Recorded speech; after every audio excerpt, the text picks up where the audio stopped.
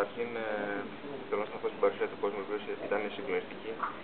Ειλικρινά, περιμέναμε σήμερα τον κόσμο να έρθει στο παιχνίδι, αλλά σίγουρα δεν περιμέναμε να έρθει έτσι μαζικά να μας υποστηρίξει, να μας βοηθήσει, να μας αφήσει προς την νίκη.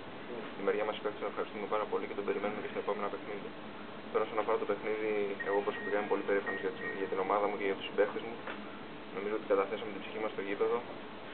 Ότι στο τέλος ε, το εξήλθαμε στι δυσκολίες που το παιχνίδι, δείξαμε ψυχικά αποθέματα και καταφέραμε να οδηγήσουμε το παιχνίδι παρά ότι τελικά να το κερδίσουμε. Θεωρώ πω η ομάδα έχει πετύχει το βασικό της στόχο, προκρίνεται στου 16 του Eurocup και από εκεί και πέρα συνεχίζουμε η βγει. Τελικά η ομάδα αυτή καταφέρνει, βγάζει